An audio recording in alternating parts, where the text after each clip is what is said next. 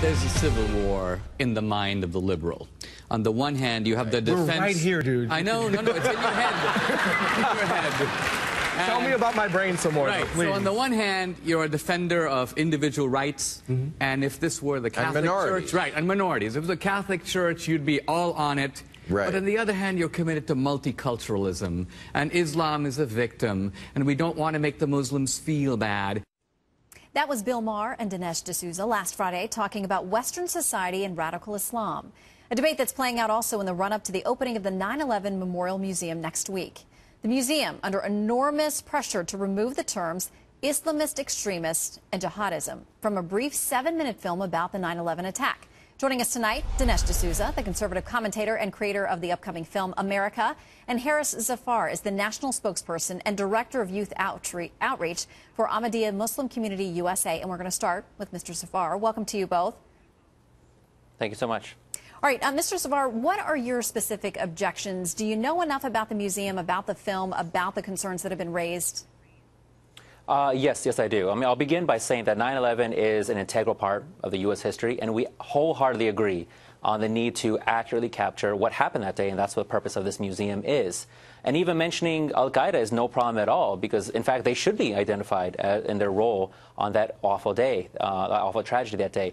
What gives Muslims, including us, pause, as well as non-Muslims, including even the uh, the museum's own interfaith uh, advisory group, is when acts are used or labeled as Islamic, or they're used by, they're referred to by Islamic Arabic terms such as jihad, because the use of those terms implies that this terrorism, the violence, and the murder are are consistent with the teachings of Islam. So there, there's not a sufficient amount of nuance applied when these terms are used. So all we're asking for is that the 9/11 Museum use language of then President George W. Bush, who was very clear that there was nothing Islamic about what happened on 9/11.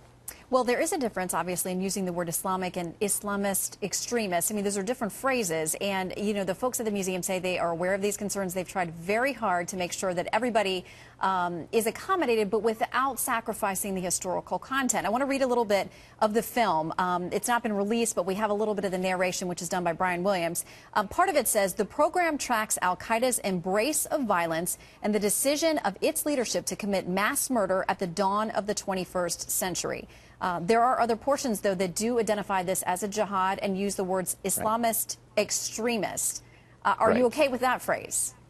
Well, I mean, in, Do you think in it's my, accurate? my- well, uh, well, it, it's it's not in the, in the way that it's being used. I mean, I've written in, in my new book, Demystifying Islam: Tackling the Tough Questions. I have an entire chapter dedicated to jihad. So I'm absolutely, uh, I strongly agree that there are people who commit these atrocious acts that that hide behind this name of jihad. But by by claiming that this is jihad, which is not the true meaning of the word jihad, what you're doing is you're alienating the, those people that can help resolve this issue, which are Muslims.